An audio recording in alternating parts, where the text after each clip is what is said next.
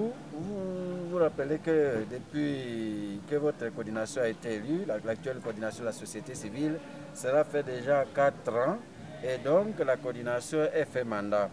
Et comme nous le recommandent nos différents textes, on doit dans ce contexte-là organiser d'abord une assemblée générale où nous faisons rapport aux organisations de la société civile. Les deux principales activités qui étaient faites, ou les deux principaux points qui étaient à l'ordre du jour de cette activité, il s'agissait d'abord justement de cette reddition des comptes. C'est un exercice, si vous voulez, un peu démocratique. Vous devez pouvoir rendre des comptes à ceux qui vous ont mandaté. Et donc, nous l'avons fait à travers les différents rapports.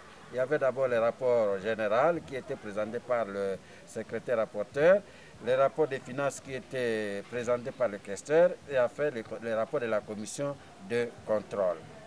Et après cette présentation des rapports, il s'agissait maintenant d'ouvrir les perspectives d'avenir avec l'organisation des élections. Parce qu'il faut qu'il y ait une nouvelle coordination qui va être mise en place. Et effectivement, nous venons de trouver un compromis. Nous, initialement, on avait prévu ça pour décembre, mais à l'assentiment général de l'Assemblée, nous allons renvoyer cette activité à janvier 2021.